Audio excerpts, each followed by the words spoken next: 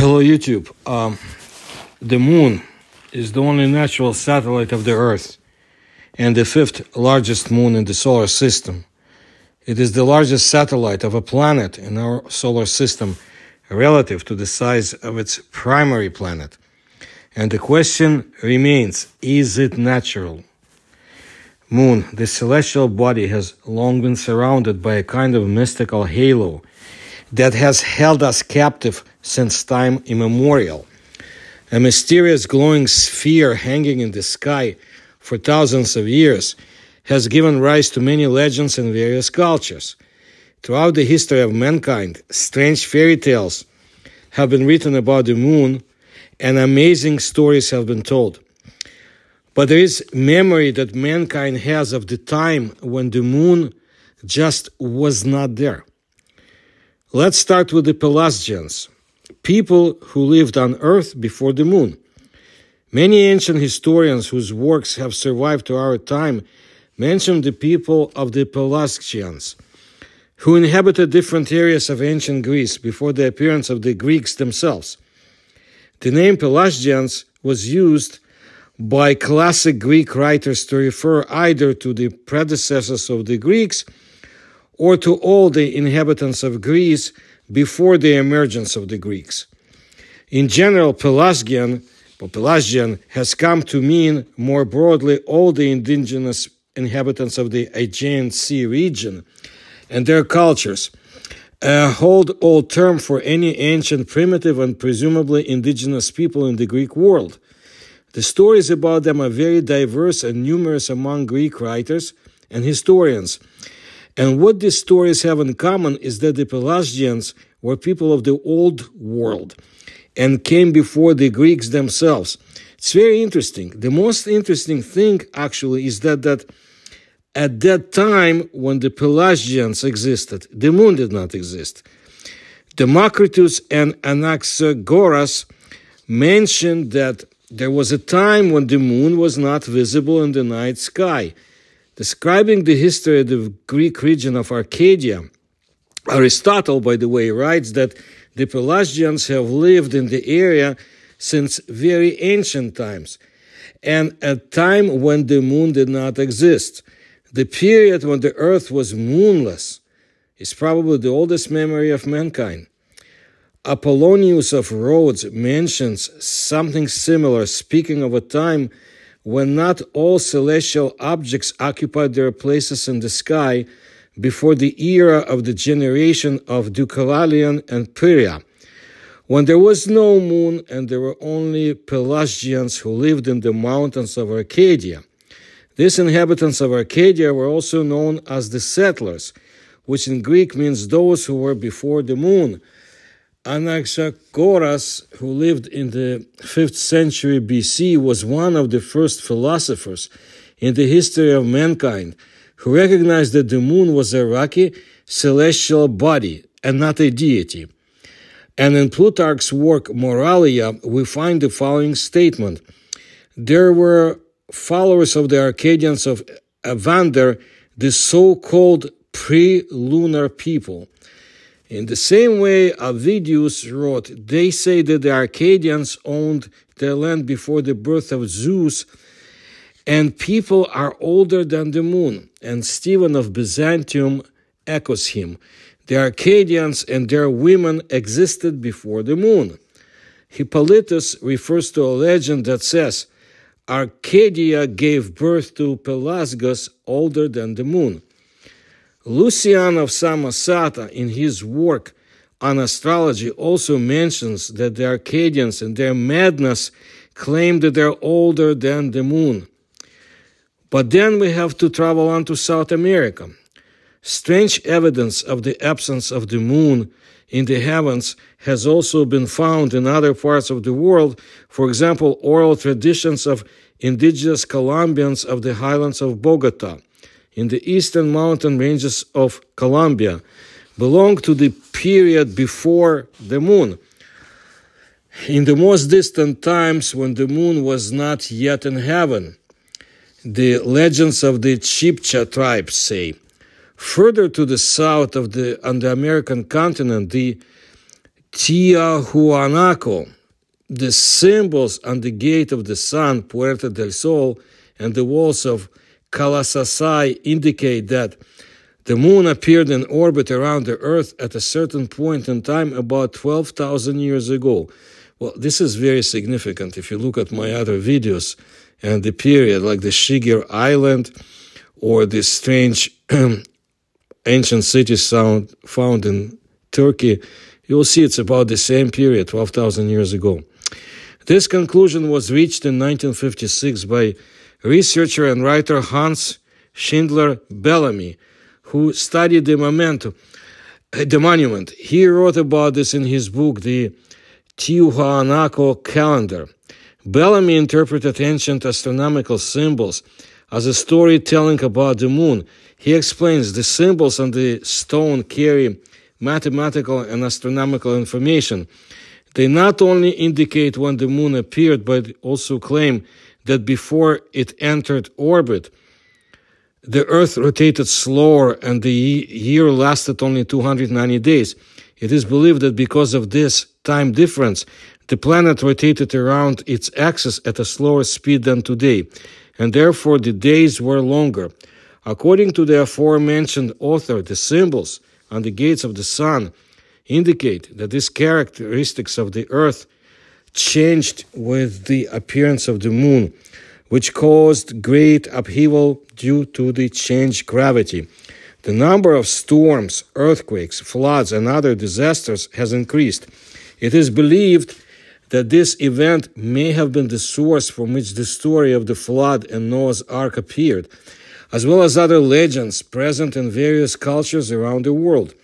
Modern scientists, by the way, do not deny that in the early era of the existence of mankind, the moon was absent in the sky.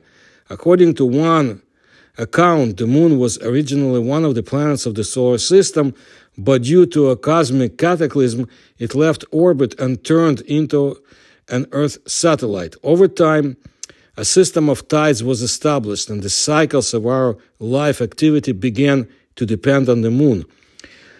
However, more interesting events occurred in the sky of our planet millennia ago. Look, to me, very interesting are legends of the Russian indigenous people about the celestial objects. With greatest respect to the Russian scientist Yelena Viktorovna Shanshina and her work, Legends on the Multiplicity of Stars Among the Tungusic speaking Peoples of the Southern far east of Russia, uh, to the problems of Genesis. Here's what she says A common place and the beginning of the plot of many well known accounts of legends about the plurality of stars is the story of a legendary epoch or era, chaos placed in indefinite prescription when several suns shone in the sky at the same time and sometimes several moons. At first, three suns were shining. Um, then our land was just beginning to cool down. This is how one of the Oroch myth begins. The earth was still quite liquid like water. When three suns were shining, the water began to decrease and the earth began to harden. It was unbearably hot on our land. The rocks were boiling. At that time, there were no people on earth, no tribes, no living beings. There was only one Hadau. As evidence of the actual existence in the distant past of the era of the plurality of suns or luminaries, modern Tungusic speaking peoples of the region give generally quite similar arguments. The Nanais, residents of the village, uh, for example, tell the following. The evidence is, for example, when bringing guests to the steep bank of the Kur River and pointing to the black layer of the earth squeezed from above and below by lighter ones, they say, This is the earth that burned when there were three suns. It is healing. If a dog or a pig gets sick, we take a little bit from here and add it to their food and they recover. Okay, you, you heard it. The, navig- the Negidals, pointing to the black hole, asked, What if the earth had not burned because of the heat of the three suns in the past? Then where could this coal come from in the mountains? Another proof of the same kind was presence of volcanic slag on the banks of the Amur River. The Oroch believed that the nostrils, or as they say, as they put it, leaky stones in the taiga, became so because at the time of the three suns they boiled and melted. Against the background of the plot about the fate of extra suns, uh, that is a common to all people who were studied in, in this process. One curious detail stands out, which is present only in the Udegea versions or accounts of the legends about the plurality of stars. In the myths of these people, the moon appears in place of the slain sun. In one of this type of legends recorded in the 1920s by Soviet researcher Krainovich, it is reported that one sun was shot with an arrow by a man. Then, a, then a, the moon appeared, the sky rose up, one sun has become. At the same time, other peoples of the uh, region have ideas about the origin of the moon as a rule, independent and independent of the legends about the plurality of stars plot.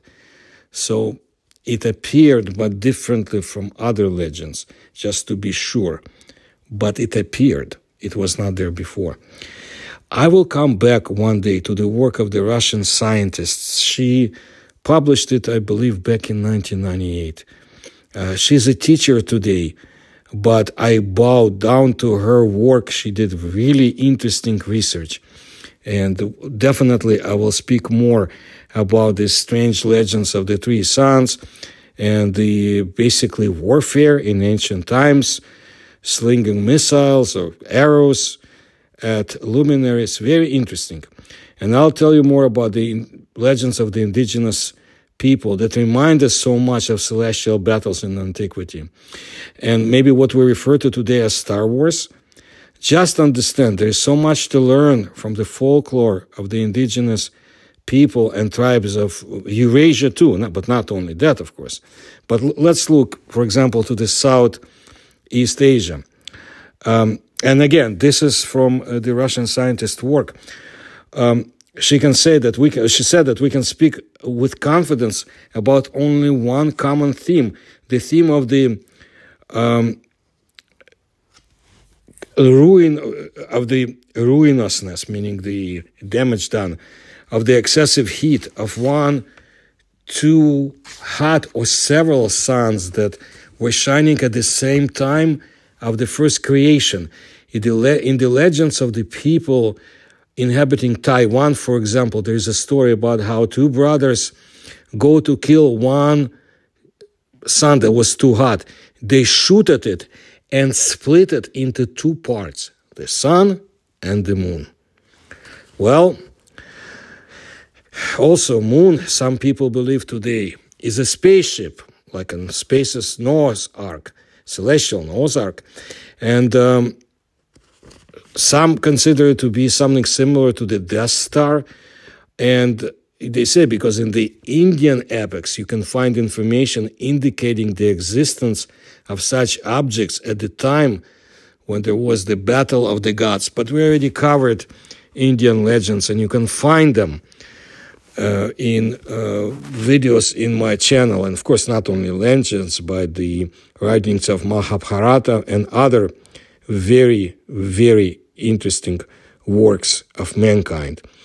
So I'll tell you more stories like this in the future. We'll continue to explore the moon. I have quite a few videos about it, and I know the moon is of great interest to the superpowers today. And if you can support my research, please do so. You'll find the links in description to this video. Please subscribe to my channel and tell others. Thank you.